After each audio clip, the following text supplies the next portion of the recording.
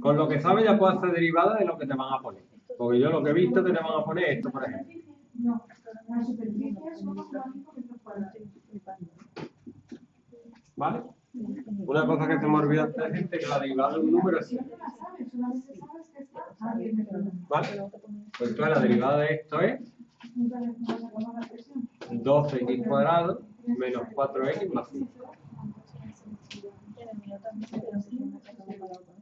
Bajo el 3, esto ya tiene que ver así, lo bajo, le resto 1, lo bajo, lo multiplico, le resto 1. Si tengo un número por x, la derivada es k, el número, así que la derivada de esto es 5 y del número es 0. Le puedo poner 0 pero no vale para esto, ¿vale? Le pongo 3 para que la. La también.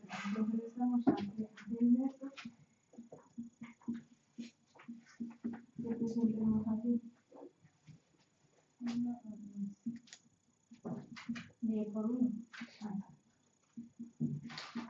¿Vale?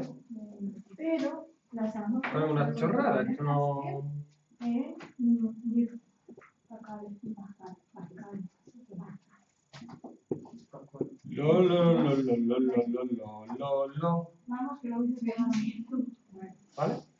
Va dentro de la superficie, o sea, la presión. ¿Eso lo hago directamente o tengo que poner como cómo se hace? No, no, no, no, tú pones Directo, Y ahora una aplicación.